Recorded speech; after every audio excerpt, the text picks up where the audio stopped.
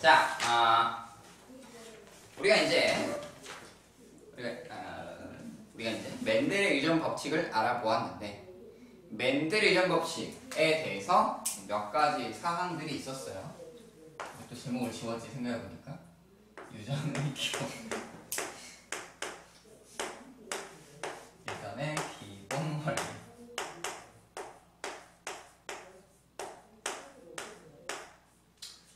제목을 또 쓰고 있는 게 힘들어요. 근데 맨델의 유전 법칙 다시 한번 보자면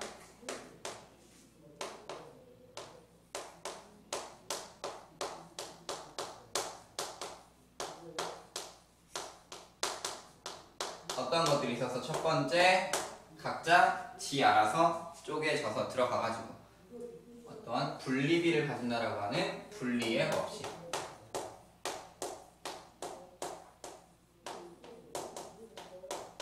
서로 다른 형질을 나타내는 대립 유전자가 만났을 때 나타나는 형질이 있고 잠재되는 형질이 있더라 라고 하는 우열의 법칙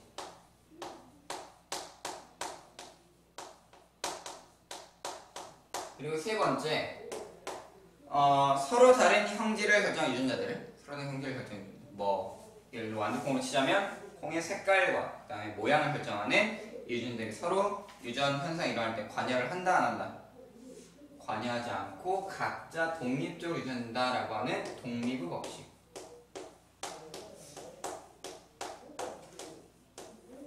이러한 세 가지의 유전 법칙에 대해서 맨델은 정리를 했더라라는 겁니다. 근데 우리가 아주 간단하게 아주 간단한 원리로 하나만 생각을 해보자면 사람의 염색체는 몇 개라고 했어? 사람의 염색체 몇 개 있어요?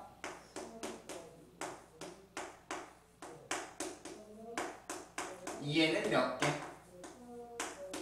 이에는 얼마? 46이었잖아. 그러니까 총 46개가 있고 23쌍이 있더라. 각 쌍의 어? 상동 염색체에는 대립 유전자가 들어있으니까. 근데 자 우리가 생각을 해보자면 사람의 유전 형질은 몇 가지쯤 돼요? 한 18,000가지쯤 됩니다. 그러면 이 18,000가지를 다 염색자 때려 넣어야 돼. 그러면 같은 염색체에도 어떠한 것들이 있을 수 있을까? 하나의 염색체 내에도 어떠한 유전자들이 있을 수 있겠어. 예를 들어서 이런 거. 이쪽이 만약에 머리카락의 색깔을 결정하는 유전자가 있다면 또 밑에는 뭐도 있을 수 있어. 눈의 색깔을 결정하는 유전자가 있을 수도 있을 거면 또그 위쪽에는 뭐도 있겠다.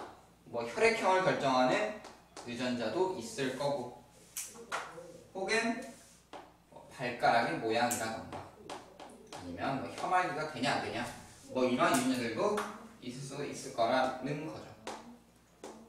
그러니까 이러한 다양한 유전자들이 어디에 하나의 염색체 내에 같이 들어 있을 수도 있을 거다라는 겁니다. 예를 들어 얘가 large A, 뭐 small b, 뭐 large b, large e와 뭐 small f 이런 식으로 있을 때 얘네들은 어때? 예를 들어서 유전 현상이라는 데 생식세포를 형성할 때 얘네들은 언제나 어떻게 돼? 같이 움직이겠죠. 같이 움직이면서 어떻게 되겠어? 형질에 따라서 분류가 될 거 아니야. 형질 나타낼 텐데 항상 뭐 하더라? 같이 움직이더라. 이러한 현상을 우리는 뭐라고 하느냐? 이거를 뭐 되었다? 연관되어 있다라고 이야기를 하는 거죠. 움직임을 같이 하는 겁니다. 왜? 하나의 염색체에 들어있기 때문에. 그러면서 많은 현상들이 일어나게 되는 거죠. 수민아 그 뒤에요 뒤. 뒤로 넘기면 있어요. 너무 너무 가지 않아도 돼. 한, 한 페이지인가 두 페이지 넘기면 있을 거예요. 거기에요. 자 연관되어 있고 이렇게 연관되어 있는 유전자들을 묶음으로 패키지로 우리는 뭐라고 하느냐? 연관 무리군자 써서 연관군이라고 부르죠. 다양한 연관군들이 있겠더라라는 겁니다. 그럼 연관이 되어 있으면 어떻게 될까? 아까 우리가 콩의 모양과 색깔이 있었습니다. 이 완두콩의 모양과 색깔이 많이 같이 묶여 있더라면 형질이 어떻게 나타날 겁니다. 표현형의 비율은 어떻게 나타날 거냐라는 거지. 그래서 먼저 이 우유, 독립 법칙에 좀 위배가 되는 첫 번째 현상 연관이라는 현상에 대해서 우리는 볼 수 있도록 하겠습니다. 자 아까 완두콩 같은 경우는 어떻게 생겨 먹었느냐 완두콩 같은 경우 아까 R과 Y가 있었죠. R과 Y R과 Y가 각각 어떤 식으로 들어 있었냐면 서로 다른 염색체에 있었던 거예요. 자 그러면 여기서 large R이 있을 때 이쪽에 small R이 있을 수 있겠고 이쪽에 large Y가 있다면 이쪽에 small Y가 이렇게 존재할 수 있었던 거지. 그렇게 됐을 때 얘는 그러면 어떠한 생식세포들을 구성할 수가 있어요. 만들 수 있는 생식세포는 어떻게 돼? 여기 어차피 상동형태는 서로 만날 수 있어 없어? 없죠. 그러면 large R이 올 때 반대편에는 large Y도 올 수가 있겠고 혹은 large R이 올때 뭐도 올수 있다. Small Y도 올수 있죠. 그치? 너무 이쪽으로 와서 좀만 옮겨서 그릴게요. large R이 올때 small Y도 올 수가 있고 또는 small R이 가면 뭐가 온다? large Y도 올 수도 있고 small R이 올때 small Y도 올수 있지. 각각의 비율은 얼마야? 1대 1대 1대 1이 되더라. 그래서 아까 우리가 두 가지의 형질을 놓고 계산했을 때 어떻게 나왔어요? 이게 표현형의 분리비가 어떻게 나왔습니까? 표현형의 분리비가. 자, 표현형의 분리비. 표현형이 각각 아까 어떻게 나왔었어? large R, large Y 대 large R, small Y 대 어, 여러분이 좀 이제 익숙해질 필요가 있기 때문에 이렇게 써줄게요. 이렇게 써줄게요. 이렇게 대 large R, small Y 대 small R, large Y 대 small r, small y의 비율이 아까 몇 대 몇 대 몇 대 몇이 나왔어. 이거는 뭐냐면 어차피 large r과 large y를 가지고 있으니까 무슨 모양? 둥근 모양의 황색이겠지. 몇 개 나왔었어 아까? 아홉 개 나왔었죠. 그치? 수민이가 저건 뭐지라는 표정인데 무슨 의미인지 알겠어요? 음. 여기는 어떻게 나와? small y, small y니까 녹색이죠. 근데 large R를 가지고 있으니까 어때? 둥근 모양. 둥글고 녹색인 거 몇 개 있었어 아까? 세 개 있었지. 여기는 어떻게 돼요? 주름진 황색 세 개. 여기는 주름진 녹색 하나. 이게 9대 3대 3대 1의 비율이 나왔었잖아요. 뭐일 때? 뭐 있을 때? 독립되어 있을 때. 그러니까 이거는 어떤 상황인 거야? 독립이 되어 있는 상황인 거야. 독립이 된 상황에서는 이러한 비율을 우리가 확인을 할 수가 있겠더라라는 겁니다. 알겠나요? 이렇게 되는데 자 근데 생식세포가 아니다 F1이 이렇게 생긴 게 아니라 F1이 만약에 R과 Y가 같은 염색체에 있다면 어떻게 거야. 같은 염색체에 있다면 같은 염색체에 있다면 그러니까 이쪽은 large R 이쪽으로 large Y 붙어 있고 이쪽으로 small r, small y가 붙어 있을 수도 있겠지. 혹은 어떤 것도 가능하겠어요. 혹은 뭐도 가능할까? 연관이 되어 있는데 아까는 large r과 large y가 붙어 있었죠. 근데 이번에 large r이 이쪽에 있는데 large y는 이쪽에 있는 거야. 이쪽은 small r이 오고 이쪽으로 small y가 오는 경우가 있겠죠. 이런 두 가지 경우를 살펴볼 수가 있겠습니다. 그러니까 연관이 된다면 이런 연관도 있겠고 이런 연관도 있겠더라라는 거지. 각각의 F1이 왔을 때. 그럼 그 결과값은 어떻게 달라지느냐라는 건데 자 여기서 만들 수 있는 생식세포는 어떻게 돼요? 얘가 만드는 생식세포 여기는 large R과 large Y가 함께 움직이죠. 만들 수 있는 건 large R과 large Y 또 뭐도 있어? small R과 small Y가 있겠지 확률은 1대 1 이렇게 나온 거죠. 그럴 때 얘네들은 어떤 결과치가 만들어지겠느냐라는 거죠. 여기도 마찬가지로 표현형을 살펴볼 거예요. 얘네들의 표현형은 그러면 어떻게 나올 거냐? 라는 건데 어떻게 나와? 여기도 아까랑 똑같이 여기도 이렇게 4개 있었으니까 똑같이 4개를 한번 써보겠습니다. 이렇게 나오고 대 large R small y small y small r small r large y 이거 그 다음에 small r small r small y small y 이렇게 나오는 거지. 자 그럼 얘가 어떻게 만들어지느냐를 보면 일단 만들 수 있는 게 large r large y였고 그리고 small r small y였잖아. 목에도 large r large y에 small r small y였겠지. 그러면 얘네가 어떻게 만나? 이런 식으로 이제 만나게 되잖아요. 만나서 여기는 뭘 만들어? large r large r large y large y 만들죠. 여기는 large r small r large y small y를 만들겠지. 여기는 large r과 small r large y와 small y 여기는 small r과 small r small y와 small y를 만들게 되더라라는 거지. 그러면 표현형이 요거인 애들은 몇 개 나와? 하나, 둘, 세 개 나올 수 있죠. 그치? large R과 large Y를 가지는 케이스 몇 개 있어요? 세 개 나오더라. large R과 small Y를 가진 경우는 있어 없어? 없죠. 0. small R과 large Y를 가진 경우도 없죠. 0. small R과 small Y를 가진 경우는 1. 그래서 비율이 어떻게 나와? 3대 0대 0대 1의 비율이 나올 수 있더라라는 거지.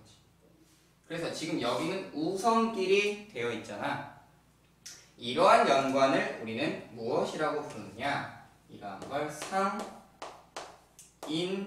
연관이라 그래.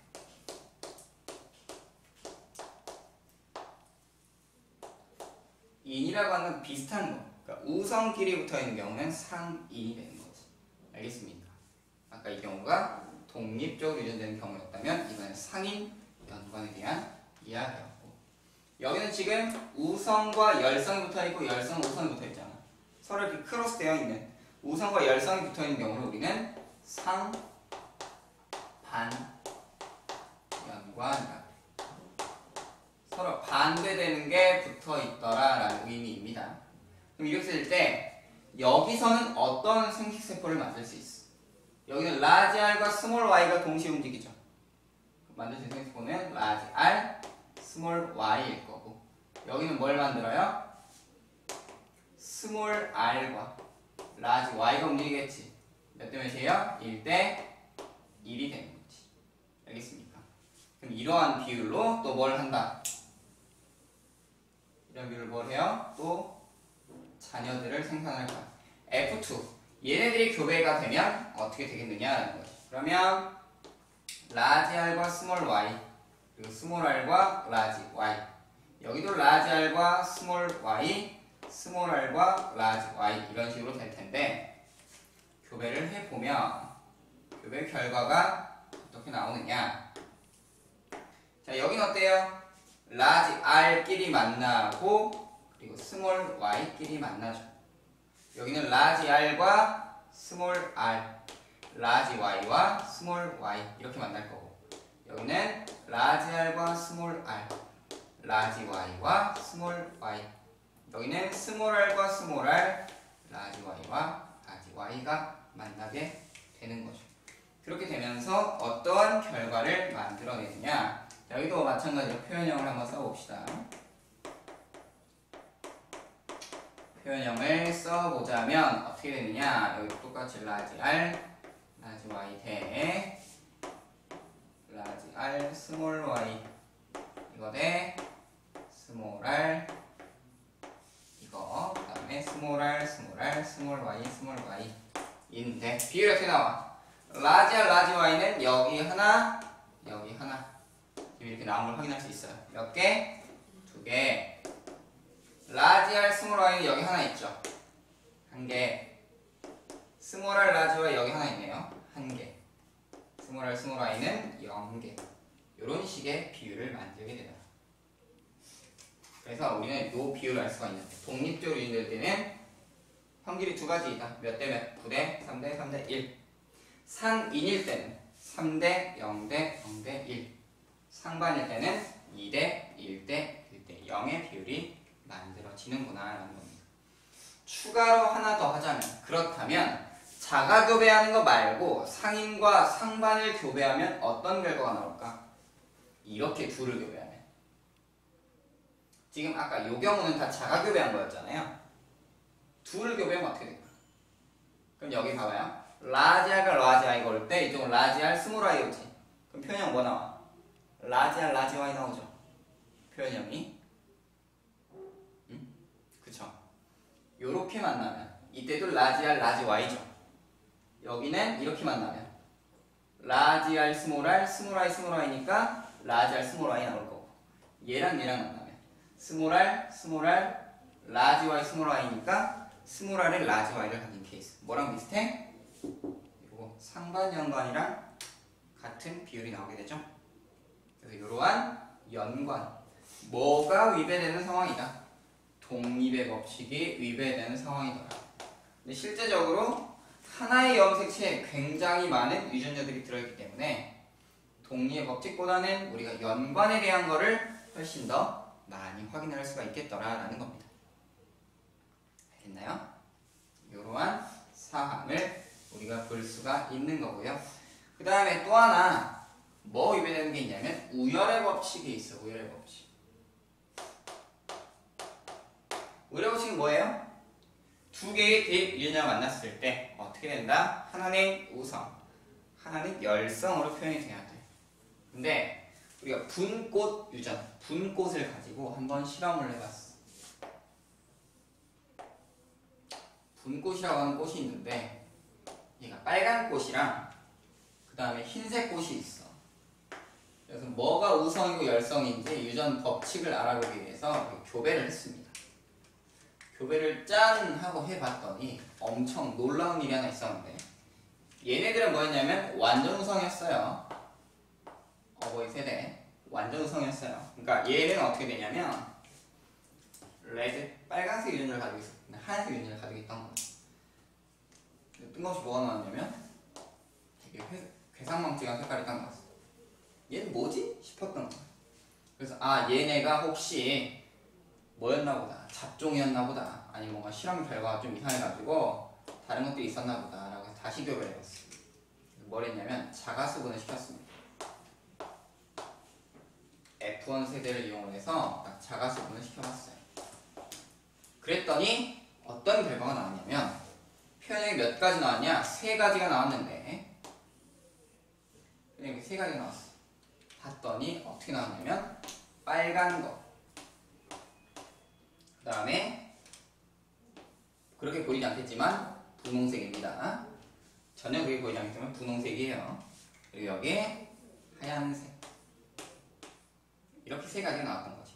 비율을 봤더니 얼마나 나왔냐면 얘 하나, 얘 두 개, 얘 하나 이렇게 나왔던 거지.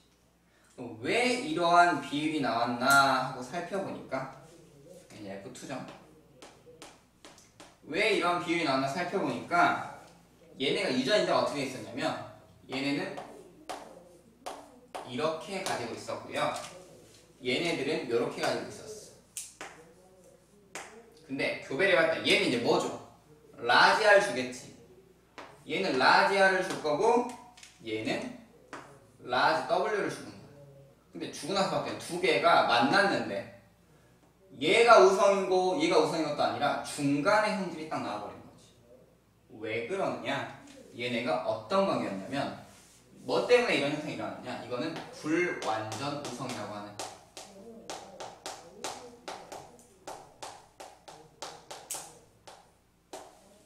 우열 관계가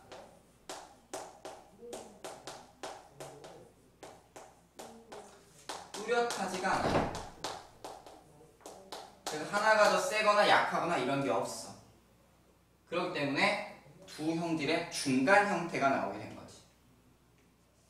그리고 나서 이거를 자가 교배를 하는 순간 얘는 R도 줄 수 있고 W도 줄 수 있잖아. 그 비율이 어떻게 나오느냐? 자, 그렇게 될 때 R을 주거나 혹은 W를 주게 되는데 여기도 마찬가지로 R을 주거나 W를 주게 되는 거죠. 그렇게 해서 얘네들을 교배의 비율을 한번 따져봤더니 여기는 어떻게 돼? large R과 large R이 만난 거였고 여기는 large R과 large W가 만났고 여기는 large R과 large W가 만났고 여기는 large W가 두 개가 만났더라. 그렇게 되니까 large R끼리 모인 얘 large R, large R이 어떻게 나왔고 한 개체가 나왔고 그 다음에 large R과 large W를 하나씩 가진 개체가 두 개체가 나왔고 그리고 large W만 가진 개체가 또 한 개체가 나오게 됐더라는 거지. 그럼 여기서 우리가 알 수 있었던 거. 이런 결과를 통해서 표현형의 분리비가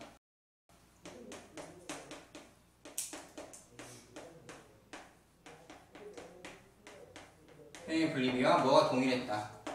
유전자형의